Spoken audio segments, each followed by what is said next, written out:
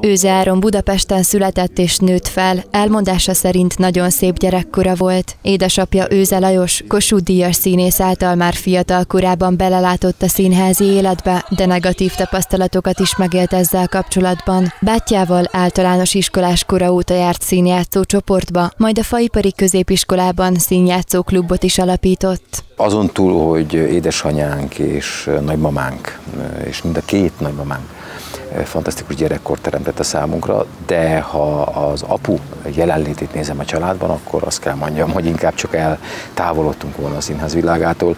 Ugye ez a fajta rendszertelenség, rengeteg feszültség, ha apu otthon volt, akkor inkább csöndbe kellett lenni, mert szöveget tanult, akkor hajnalba jött érte taxi, vagy hajnalba hozták, ugye akkor még a filmipar is pörgött, ám bár azért most sem panaszkodunk.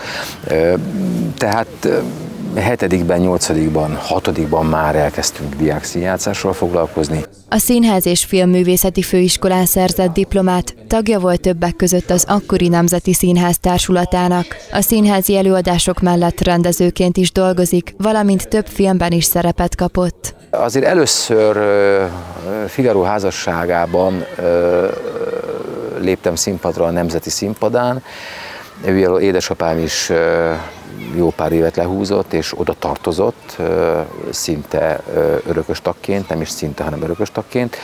Ott a Kerubin szerepét játszott a Miglódis felrendezésében. Hát azért remegőt érdek nyilvánvalóan. Tehát vagy a mi kisvárosunk Mensáros Laci bácsival, Tolnai Klári partnereként, Kálai Ferenc, Zolnai Zsuzsa, Fonyó Pista, és még sorolhatnék neveket.